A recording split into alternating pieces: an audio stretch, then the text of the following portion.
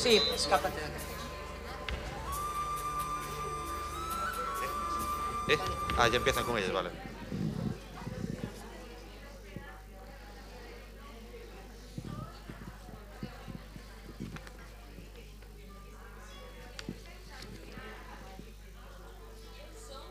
Inteligente.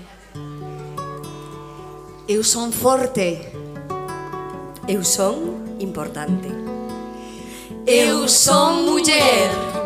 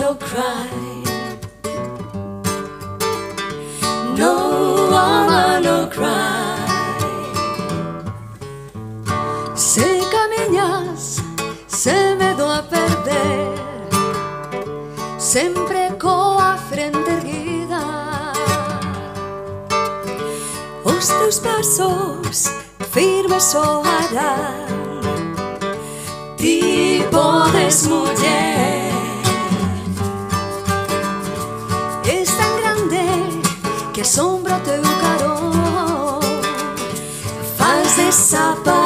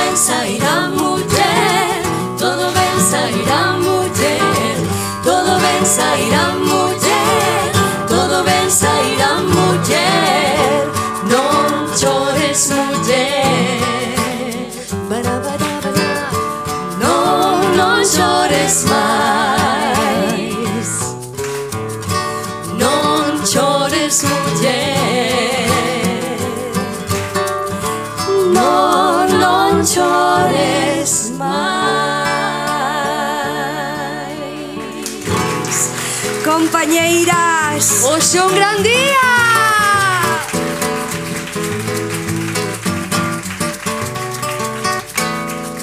Hoxe un gran día vai a ser Presente o corazón. Hoxe un gran día pode ser Volveu sair o sol.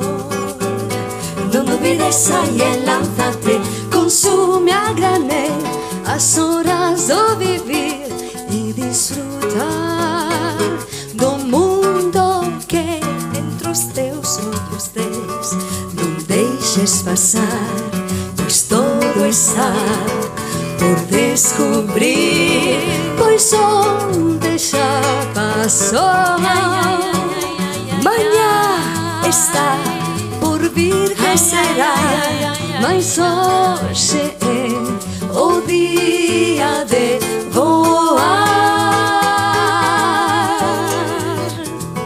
E deixa-te fluir. Ai, ai, ai, ai, ai, ai co teu sorriso sai a vida as cousas venen e van e nada perdido está.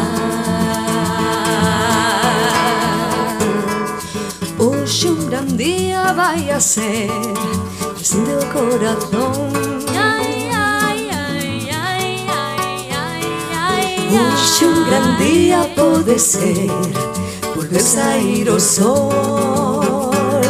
Non dubides, ai, e lánzate Consume a granel As horas do vivir E disfruta do mundo que ante os teus ollos tes Non deixes pasar Pois todo está por descubrir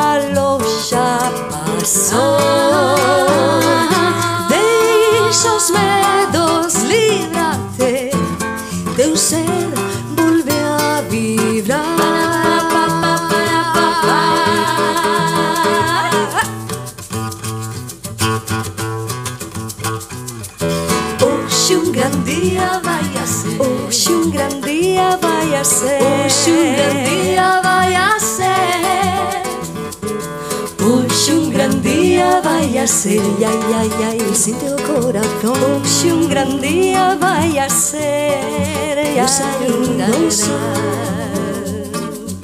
Ai, ai, ai, ai, ai, todo un gran día vai a ser. Que sí, que sí, que sí.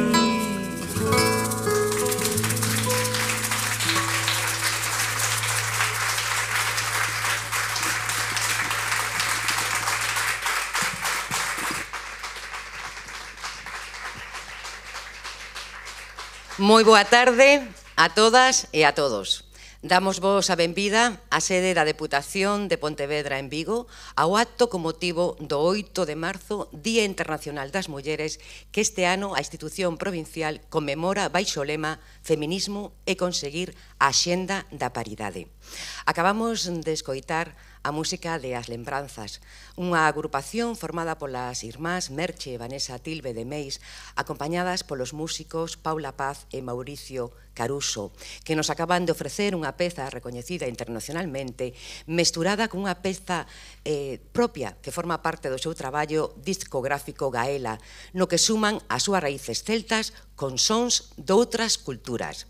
Esta sala Rosalía de Castro engalánase para recibir esta maravillosa peza artística, esta colcha, esta manta cobija que nace como resultado do proxecto artístico social e internacional Las Locas, creado pola artista uruguaya Mariana Sellanes, en a que participaron ata o momento máis de 100 mulleres que crearon un total de 111 cadros. Estará nesta sede, na sede da Deputación de Pontevedra en Vigo ata o vindeiro 15 de abril.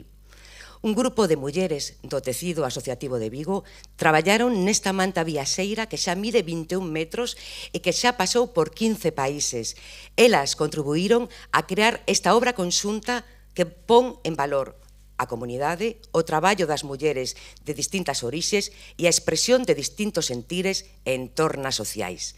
A continuación, imos ver unha peza audiovisual que recolle ese proceso creativo que, que se desenvolveu hai uns días aquí na sede de Vigo.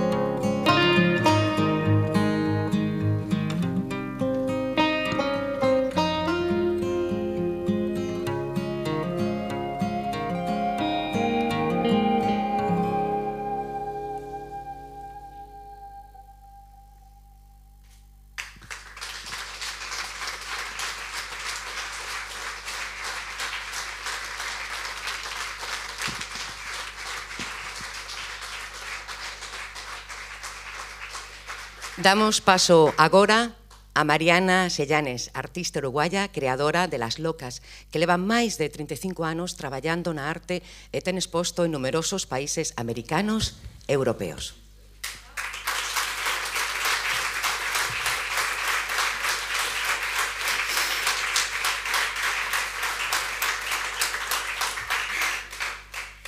Bueno, estoy muy emocionada, muy feliz de bueno, de muchas cosas, pero estoy muy agradecida con la Diputación de Pontevedra, en la persona de Carmela Silva, eh, una mujer muy accesible y bella que de verdad me tocó, eh, a Paula y a Begoña, a Berenice Walcott, que es mi coordinadora del proyecto aquí en Galicia.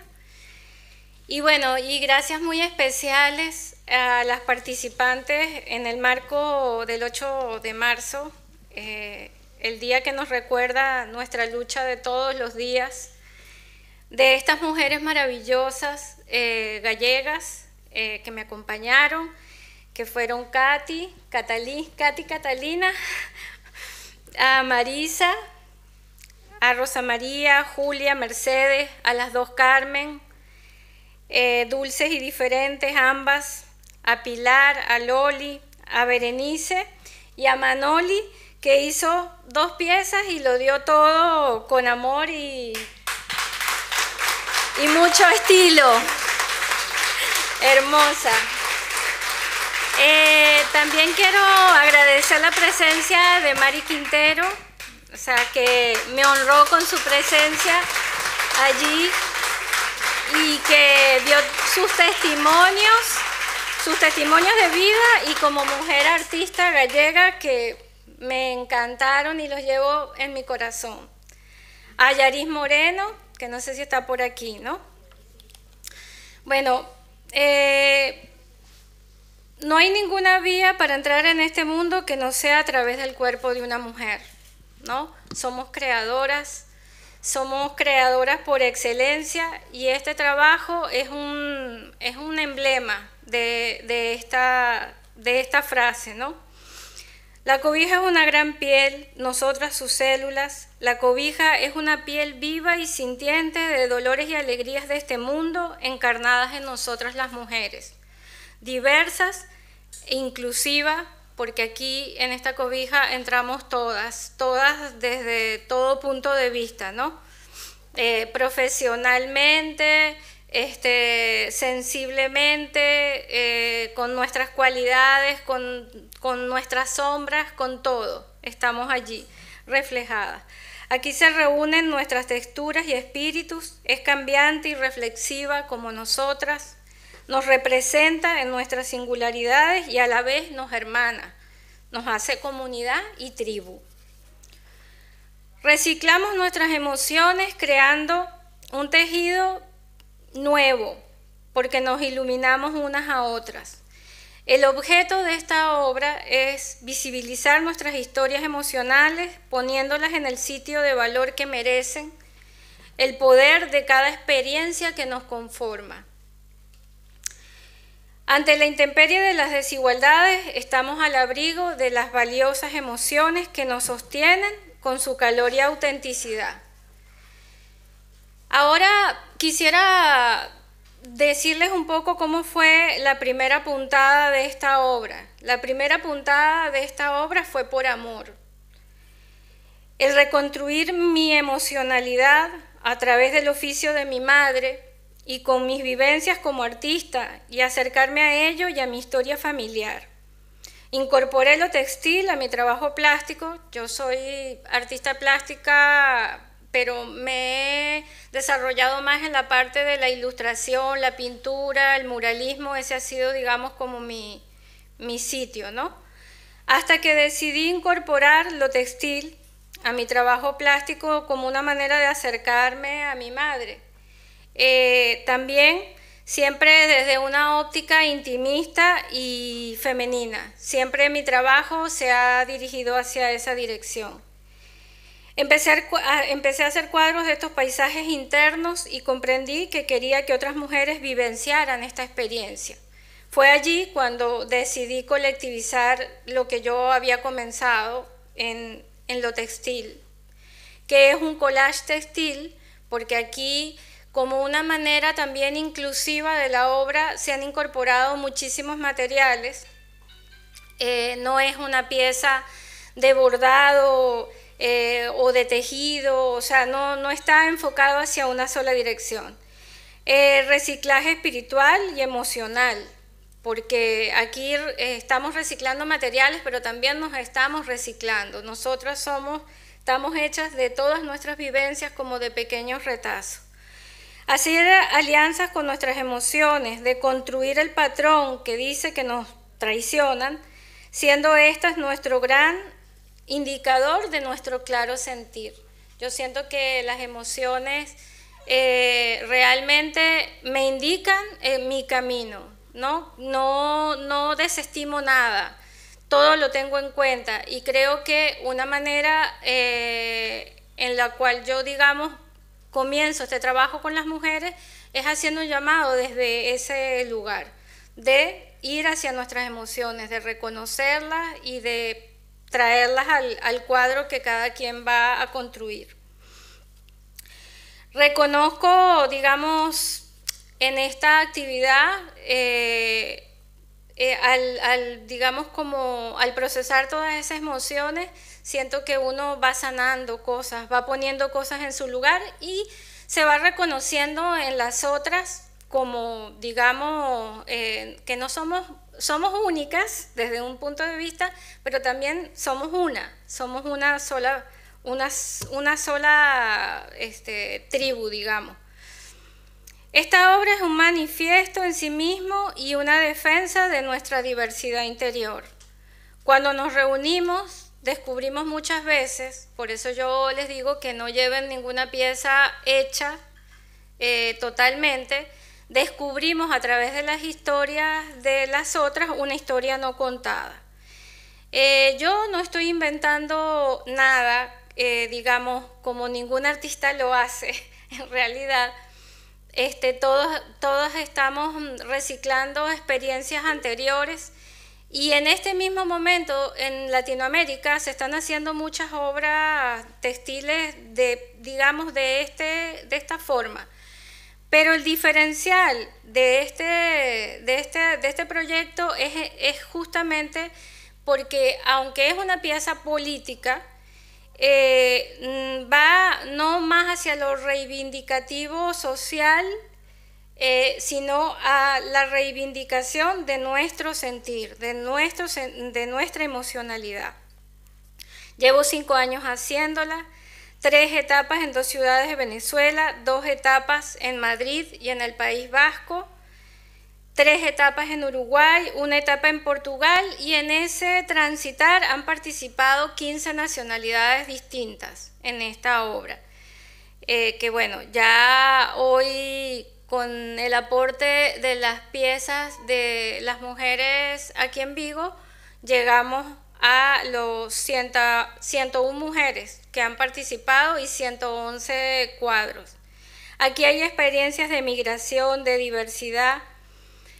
Em, como yo siento que sí somos como muchas pieles, estamos hechas como de muchas capas, Aquí hay cosas que tocan al cuerpo, que tienen que ver con las figuras paterna y materna, niñez, cuerpo, eh, sanación, enfermedad, maltrato. Hay también piezas que tienen que ver con la conciencia social, ¿no? con, con encajar, que es los roles que nos toca cumplir a nosotras las mujeres, como los roles de la cotidianidad, desde de la cotidianidad hasta la escogencia de ser madre o no. Eh, lo que, las vivencias de las abuelas, los cambios que tenemos en nuestro cuerpo, cómo vivimos los duelos, eh, las culturas, nuestras ancestras, están presentes en muchísimas obras. Estoy, digamos, diciéndoles como todos los temas que están aquí tocados por todas las mujeres que han participado. Identidad, migración, que no fue un objetivo y al final se transformó en otro de los objetivos de esta obra porque al final hay muchas piezas de migrantes allí. Y bueno, y comunidad, y lo que somos, una celebración de lo que somos. Está visto que este no es un día para celebrar, que es un día para, para afirmarnos en nuestras luchas y en todas las cosas que queremos ser y tener. Eh, pero sí también hay cosas para celebrar, o sea, ser comunidad, poder vernos unas a las otras en, todo este trabajo, eh, es para mí eh, algo que ha superado mis expectativas en cuanto a la experiencia como humana y como artista.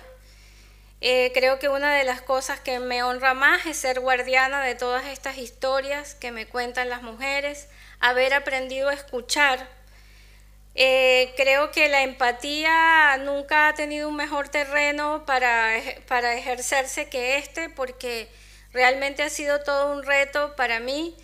Los artistas a veces somos bastante egocéntricos y, esta es una prueba eh, de darse, recibir, o sea, y descubrir lo que somos y podemos llegar a ser. Eso es todo. Muchas gracias.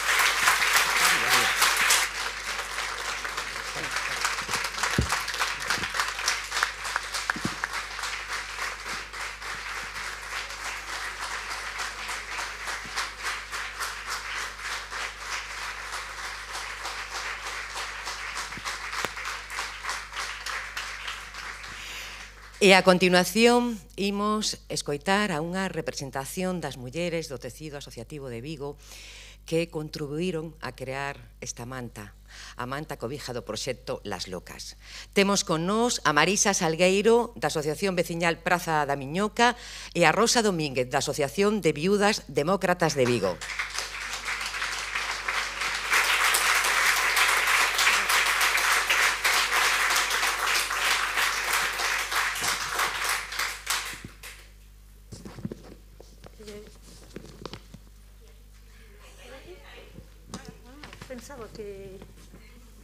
que ocupabas este sitio. Eh, buenas tardes a todos. Eh, estou moi nerviosa porque nos meus 77 anos é a primeira vez que teño que falar en público. Entonces,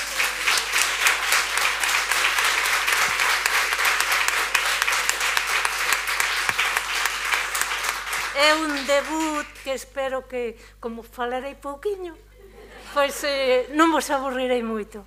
Bueno, eh, quero, quero decir que mm, eu descubrín o, o, o centro da Plaza da Miñoca como unha agua de maio.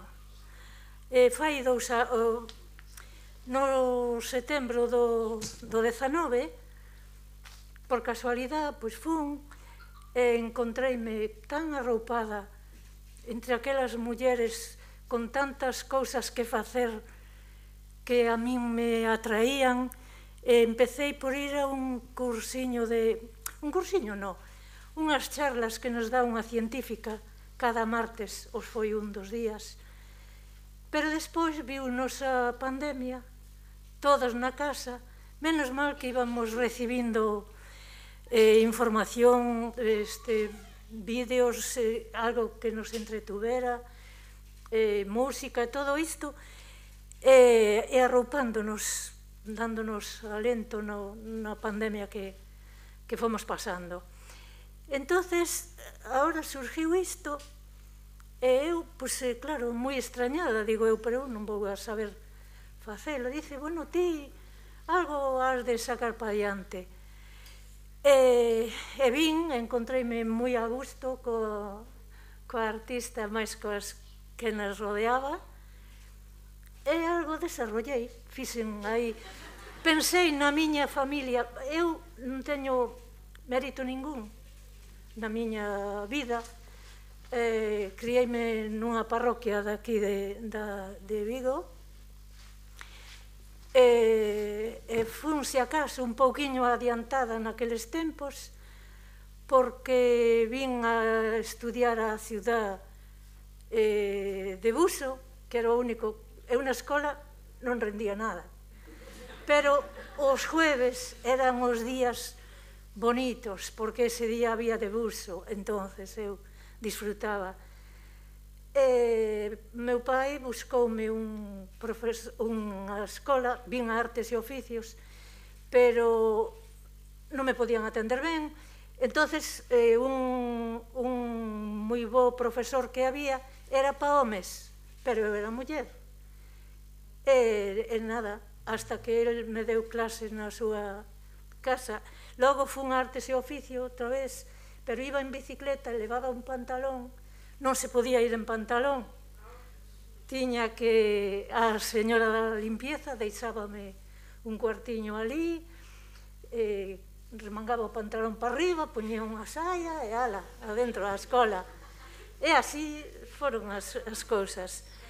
E entonces eh, en quen pensei foi na miña aboa Emilia, que mm, había casado con un músico, que a parte era canteiro tamén, pero eh, e tiña tres fillas, tuveron tres fillas, unha delas miña nai, era a maior, e cando cando facía falta este diñeiro e tal e cual, pois marchou para América.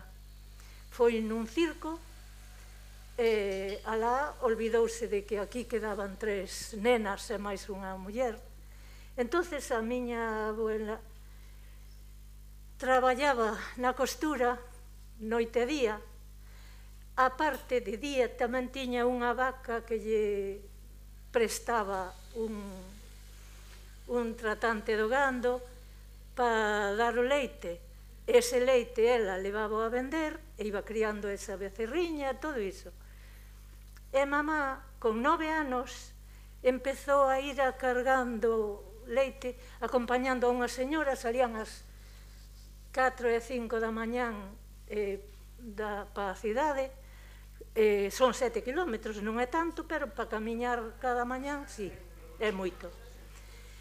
E, e bueno, levou así unha vida, pero a miña boa era tan boa persona que inculcoulles o amor ao seu pai que estaba ausente, ela sempre vestiu de luto porque el criou a outra familia, o sea que el desentendeuse, pero as nenas sempre o seu pai, era o seu pai, e tiña aquilo...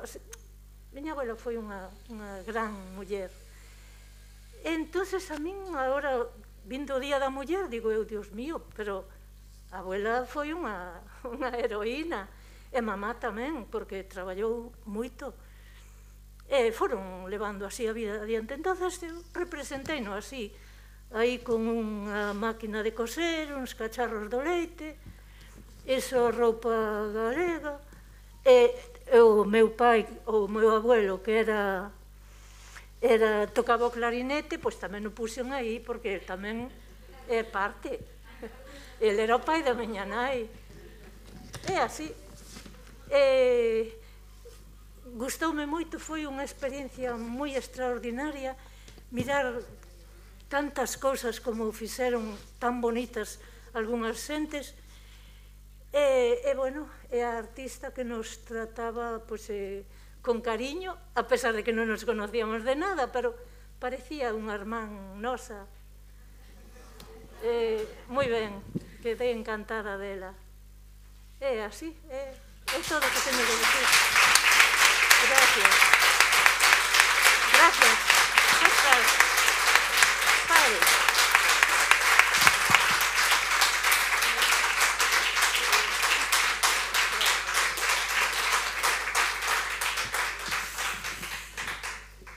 Bueno, buenas tardes a todas y a todos.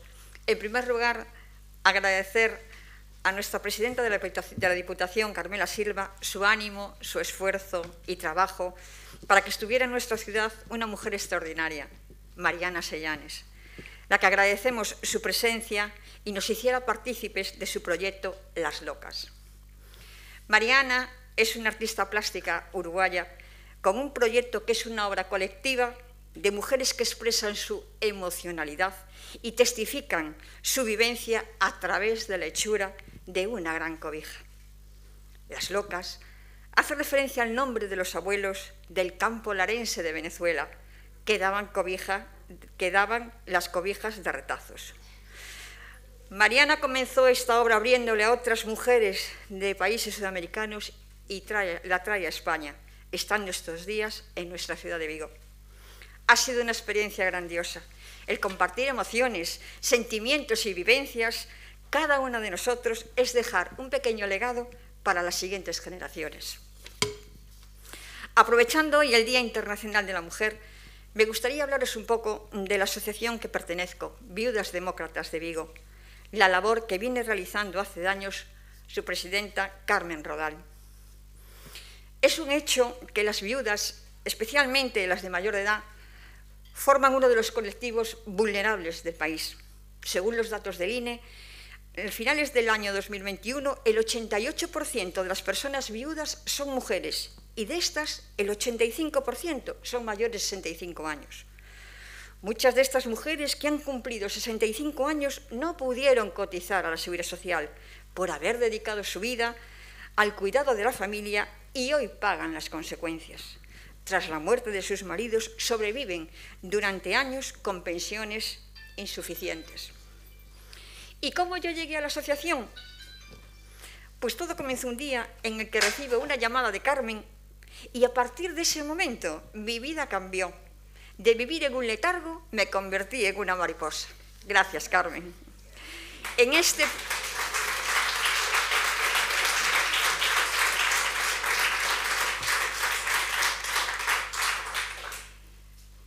En este pequeño escrito quiero dejar constancia de mi admiración a cada una de las mujeres que lideran esta asociación y a todas vosotras. Juntas y unidas somos más fuertes. Muchas gracias a todas, a todos y feliz Día de la Mujer.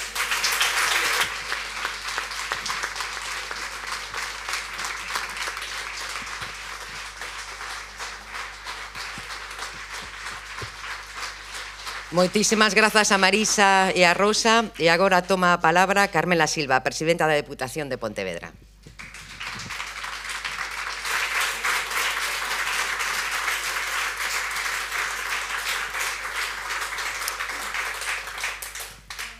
Boa tarde. As emocións sí que importan e moito. E as mulleres somos as guardadoras de que ten unha enorme importancia o ser humano. O ser humano no centro de todo. E nós somos as viciantas de que eso siga a acontecer. E como isto vai de algo coral, quero que me acompañen aquí para pechar esta ronda de falar de nós, das mulleres, neste día das mulleres antes de voltar a escoitar música, Lucía Muradás e todas as mulleres da área de igualdade. Quero que me acompañe Paula Cabaleiro e as mulleres da área de cultura.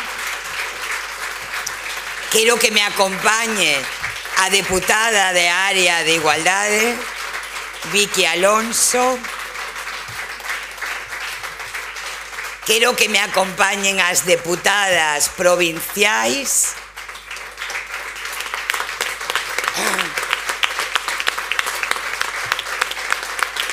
Quero que me acompañe a responsable da área de comunicación, Belén. todas estas mulleres que están aquí, quero que me acompañe Aroa.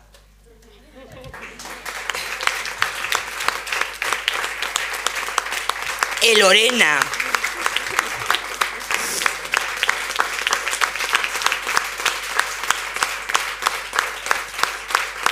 E creo que non me falta ninguén, non? Todas estas mulleres que vedes aquí son as que fan posible que a Deputación de Pontevedra sexa unha administración feminista, unha administración que aposta por visibilizar as mulleres, por reivindicar o seu papel no mundo, o seu imprescindible papel. Sin nós non hai vida, non hai futuro, non hai economía, non hai ciencia, non hai política, non hai cultura, non hai arte. Sin nós non hai nada. É unha sociedade que lle falta a metade do mundo. Pero que sociedade é esa? A que non ten en conta a máis da metade do mundo. E sí, aquí, querida Mariana, estamos las locas, ¿sí? Aquí estamos las locas.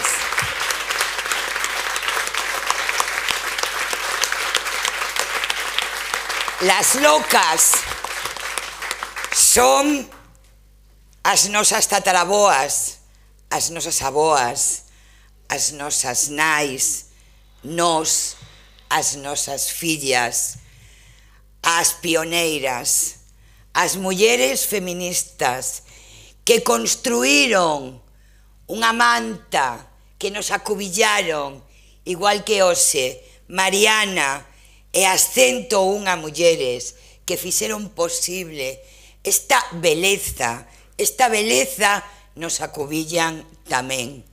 As mulleres somos fortes cando estamos xuntas.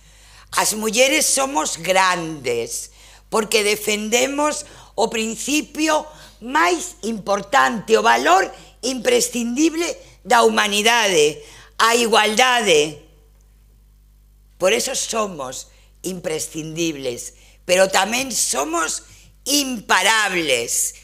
En este día 8 de marzo queríamos que aquí, en Vigo, quedara unha manta, que é unha manta histórica, porque é unha historia que conta tantas historias, que conta a nosa historia, A historia das mulleres, esa silenciada, invisibilizada, esa historia a que non lle queren dar valor e realmente é o valor da historia, as nosas historias, as historias das mulleres.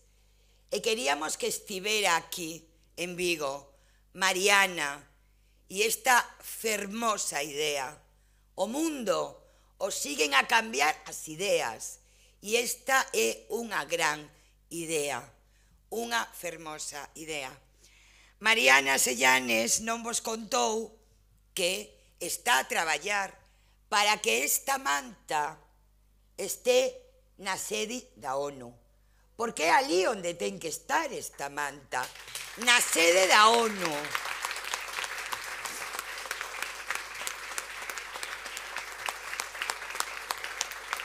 para que estemos presentes, falando de nós, falando de historias que hoxe foron contadas aquí por algunha das mulleres que participaron en Vigo na construción desta manta. Calqueira diría que é a primeira vez que interveñen en público. Calqueira o diría. Porque as mulleres tamén somos grandes contadoras porque a nós outras nos contaron historias. E polo tanto, temos unha enorme capacidade para contar e para construir historia.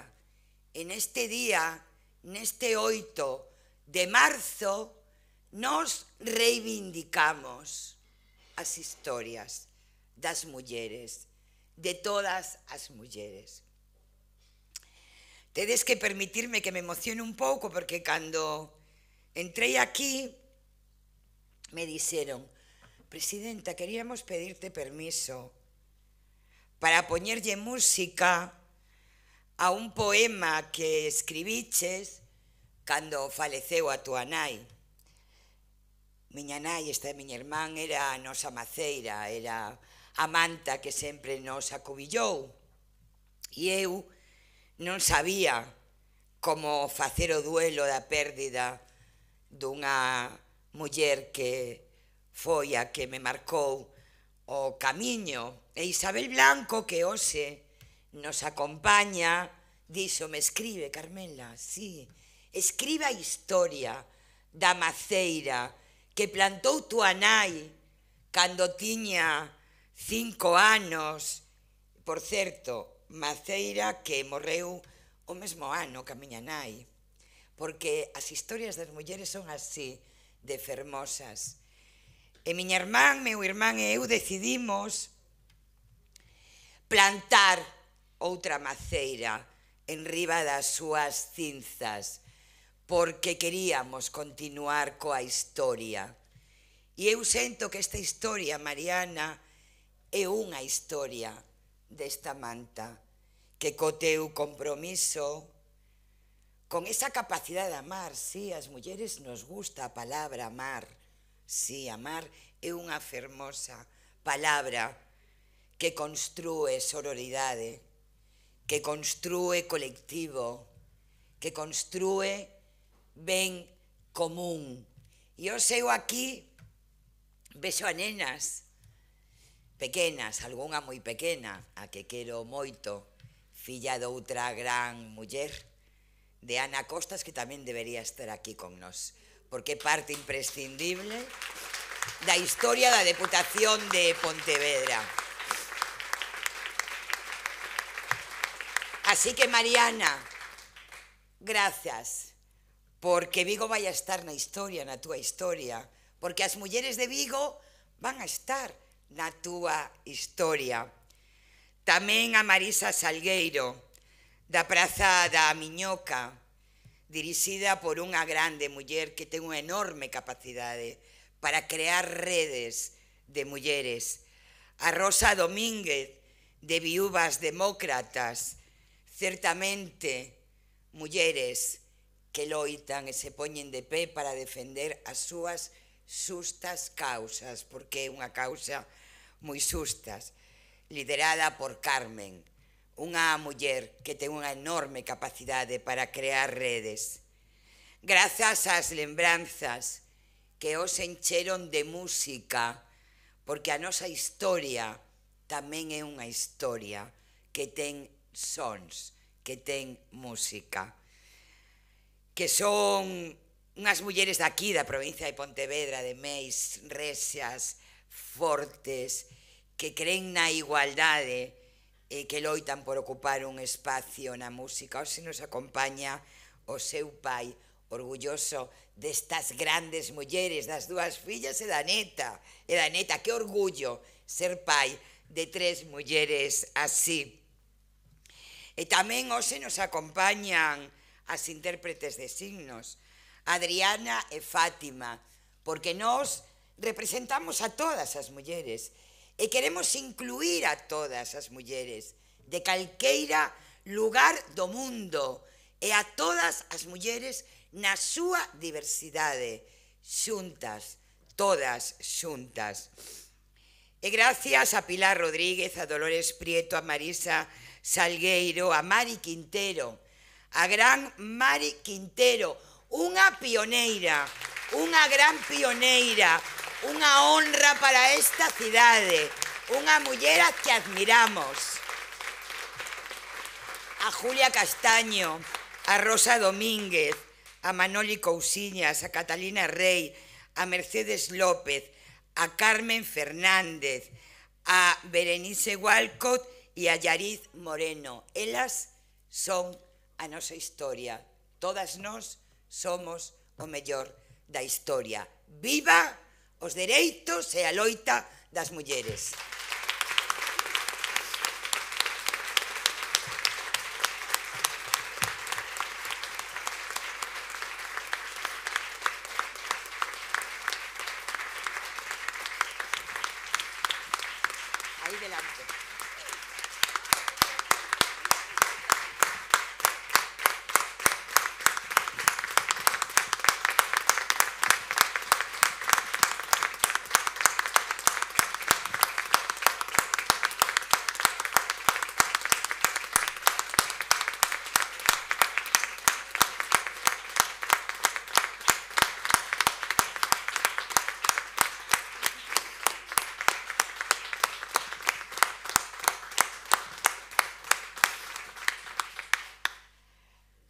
E de novo imos a escoitar as lembranzas, coa súa alegría e coa súa forza imos ir despedindo xa este acto co gallo do 8 de marzo, Día Internacional das Mulleres. Ao termo da súa actuación faremos unha foto de familia con esa manta que nos acubilla e Mariana vai a realizar un pequeno percorrido guiado por esta peza artística.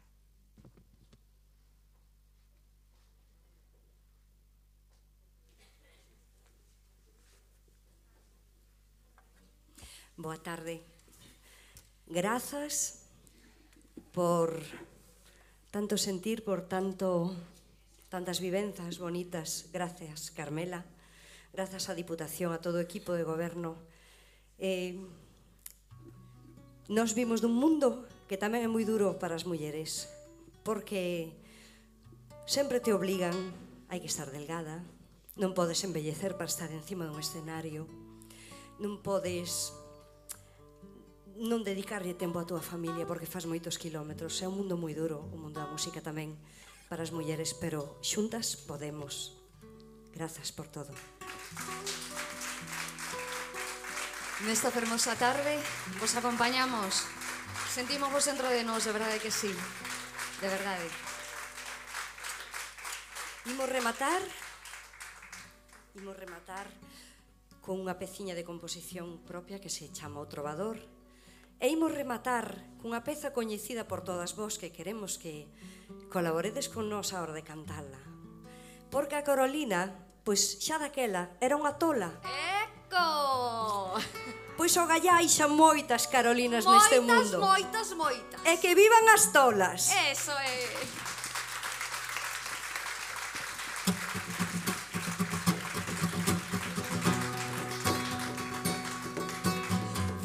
a contar, señores, un casamento da aldea. Que casou tío Laranxo con marica panadeira. Choran os bois polas vacas e as vacas polos becerros.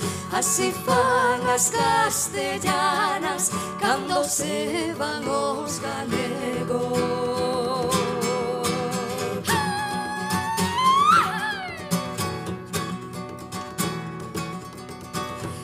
Ves, pois que quixeches outras Acercaste a beira miña. E o que comeu a faneca Que coma tamén a espiña. Non me tires con pedriñas Nin con mazas recortadas. Eu para ti non nací Non me siga las pisadas.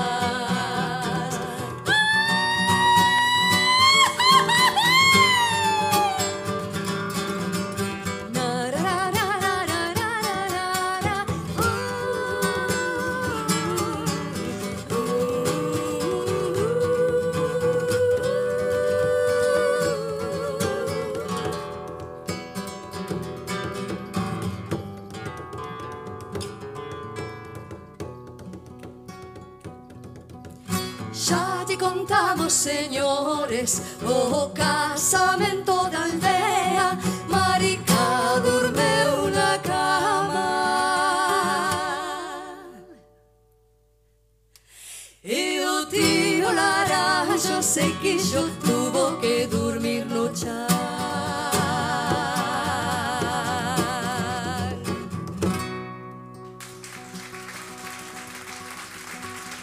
Pues aló, amigas, compañeras. Di así. Asaiada Carolina.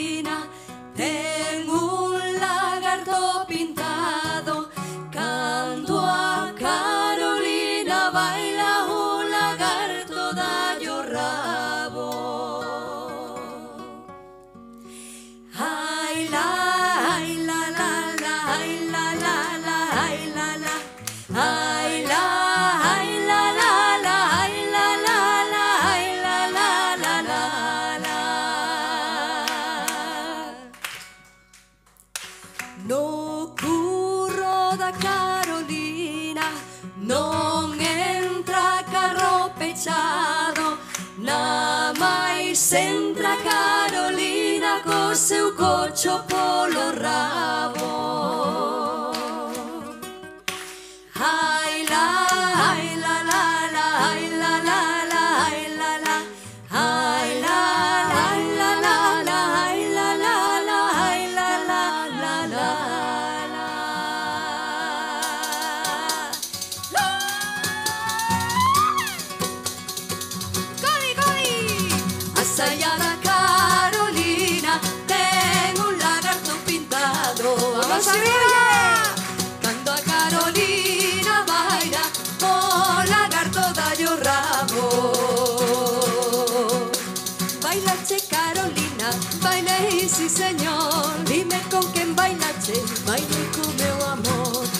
bailache, Carolina, bailei, si sí, señor. Dime con quen bailaches, bailei con meu amor. Con teu amor, Carolina, non volvas a bailar porque che levantas aí, aí é moi mala de baixar, moi mala de baixar, moi mala de baixar, moi mala de baixar. Graciñas! Búsquenos en redes as lembranzas. Hasta sempre. Moitas grazas.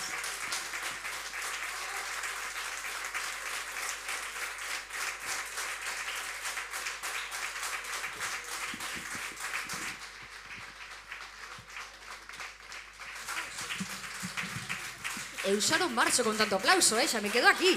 Vago.